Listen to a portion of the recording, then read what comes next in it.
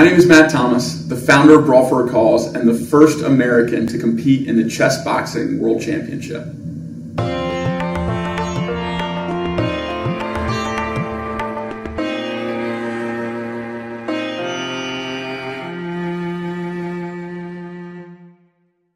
So I'll start from the beginning. A few years back, I got an injury.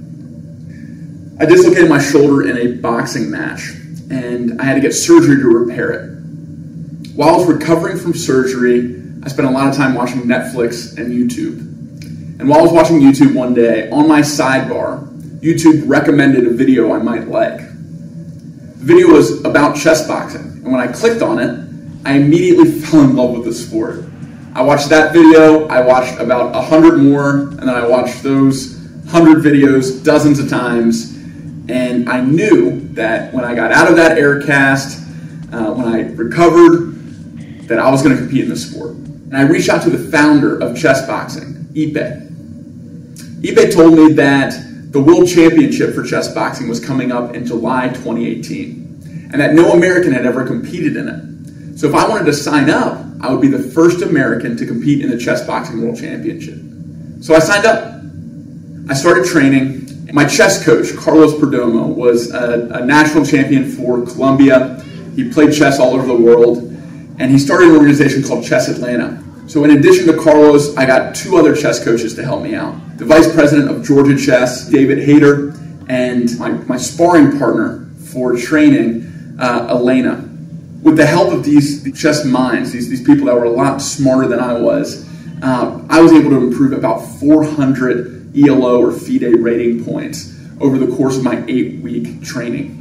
Also, during training, uh, I had other coaches for other aspects of this competition. So, my strength and conditioning coach was a former brawler, a guy named John Kolowich, total beast. This guy, we, we worked together a couple times a week. He had me flipping tires around tracks. He had me doing things with a kettlebell I didn't even know were possible. Get it done, let's go! Just hammered me into the, the type of athlete that was going to be able to compete in a three day tournament and, and not tire out and know how to recover. And, and John absolutely killed it in terms of uh, helping to prepare me for the, the chess boxing world championship. In addition to John, I trained with incredible coaches. Uh, one was a former Olympic coach for Cuba, uh, Coach Isidore He's one of my favorite boxing coaches that I've ever worked with because boxing is a way of, way of life to him. It's, it's like dancing or eating or breathing. And learning defensive technique and, and footwork from Isidore absolutely uh, was a game changer. So, as I was preparing, it was really important to try to mimic the, the, the cycle between really high heart rate, high adrenaline states and, and calming myself down and sitting back down at the board and, and focusing on board position, on candidate moves, on thinking moves ahead. And in order to mimic this, I was able to recruit some uh, some sparring partners like uh, Elena, who's the female state champion for chess in the state of Georgia, um, and uh, another former brawler and Team USA cornerman, Rob French.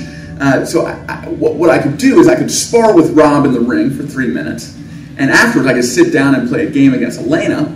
And uh, as we got more practice with that, we could actually mimic an entire championship bout for chess boxing. So I would start on the board, I would start playing a game against Elena at three minutes. We'd, we'd freeze the board, I'd put on my gloves, Rob would beat me up a little bit, and then I come back to the board, keep playing Elena, back to Rob, keep boxing, and uh, we, we, would go until there's checkmate, or uh, well, neither of us knocked each other out, but we did we did land some shots that made us a little dizzy. That definitely made chess a little bit more difficult.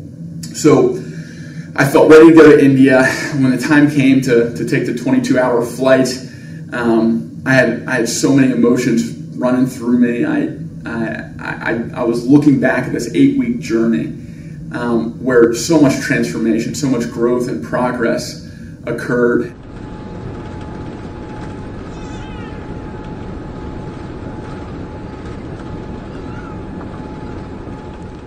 Welcome to India. So when I arrived in India, uh, I, I, arrived about five days early, and Kevin and I met up and, and started training, and we met some of the other chess boxers from other countries one of my favorite memories of those days leading up to the tournament was when Team Russia and Team USA went onto the rooftop of our hotel and we had about a two-hour training session together, where Russians were holding the mitts for for Americans and uh, you know barking orders at us in Russian, and we were just trying to keep up and trying to prepare ourselves for for something that I, I don't know if anyone was really uh, cognizant of what, what it would take to actually win this tournament. So we, we were doing our best together. Going into the event, I definitely thought that boxing was going to be my strength. I, I was in great shape. I had, uh, I would say, more boxing experience than I had chess experience. You know, I, I, thought if I can hold my own in chess, maybe I can I can get an advantage on the boxing side of things and, and end up winning the matches. In my first round, uh, it was actually the semifinals. I was matched up against a 24-year-old serviceman in the Indian Army and uh, this this gentleman named Rahul um, had won seven boxing tournaments in India. Uh, he, he, had, he, had, been a medalist for, for the Indian boxing program, and uh, that, that, scared me. I, I, I had thought boxing was going to be my strength, but um, but when I saw him and when I looked into his eyes, um, all that fear disappeared. I, I, I, knew what I had to do, and I knew fear was just going to hold me back. So uh, we, we sat down on the chessboard for the first round. Um, I opened with the London system, and that is the only system that I practiced the entire uh, training period. So I, I, knew it inside out. And so I already had my hand hovering over my bishop when Rahul made his, his second move of the game. And he made the one move, the one response, where I don't put my bishop on f4 and um, and I'd already touched my bishop as soon as he hit the timer. And in, in chess boxing, one of the rules is you touch it, you, you, have to move it. And and so I had no good square for my bishop, and I actually I have to put my bishop on a really bad square, and I clog up my development, and and I start having this flood of uh, all these thoughts of, of what could go wrong going through my head and I, I, breathe, I calm myself down, I say, you know, I, I, I, have to recover from this. And, and as the game continues, uh, Rahul makes some inaccurate moves, which, which allow me to get ahead in development. And then right before the end of the chess round, he, he blundered his queen. He put it on a square that my bishop controlled, and I was able to, uh, to take his queen right before the end of the, the first chess round. The bell rings, they, they freeze the game, they freeze the timer, and we we have to go to our corners to put on our gloves. Uh, and Rob tells me, "You got him in chess. He's going to come after you in boxing." And so I, I mentally prepare myself. I'm, uh, I'm, like, okay, you know, I have to survive this round because if I can get back to the chessboard, I think I can. I think I can checkmate him. So that was my goal. Uh, and I went out, and the very first punch that Rahul throws is a left hook that catches me clean and stuns me and uh, and I stagger back a little bit, and I say, okay, this is real. Like here we go. I start getting really busy with my jab. I, I, I, start throwing it out, making him think about every step he takes, every punch he throws. I had reach, I had speed on him, um, but he had he had experience and he had technique on me. So he was pretty good at timing, uh, pretty good at, at stringing some punches together. About two minutes into it, I, I noticed that Rahul gets really tired. He gets really winded, and this is where that uh, that Kolowich uh, conditioning comes in, I, I, had all the energy in the world um, to finish out the, uh, the, the, end of the, the second round, which was the, the first boxing round. And, uh, and I ended up landing a, a, series of punches all strung together that, that made the, the referee step in and, and stop the fight and give my opponent a standing eight count. So right before the end of the, the boxing round, I got another little win and I knew that um, my opponent was tired and that he might make some more chess mistakes. And and so when the bell rung, I took off my gloves, I sat back down on the chessboard. I started taking really deep uh, breaths, very slow breaths to calm myself down, to refocus on the board, and to get ready to um, think about my candidate moves and work towards checkmate. And uh, it took took maybe five or six moves to get to a position where I could see a clear checkmating path. And I, I walked his king over to uh, the C file, I, I, I kind of backed him into a corner and I ended up checkmating him with my knight. Uh, I sacrificed one knight to get him to a square uh, where he had nowhere else to go, and I, I moved my knight in for a checkmate. I was really proud uh, to win at least one fight. When I signed up, I didn't know if I was going to win any fights. Uh, my, my goal was definitely to win at least one. Um, and and so in that moment, uh, one of my goals for the chess boxing world championship was accomplished. So I, I woke up the next day and I reported back to the stadium to find out when my final bout would be.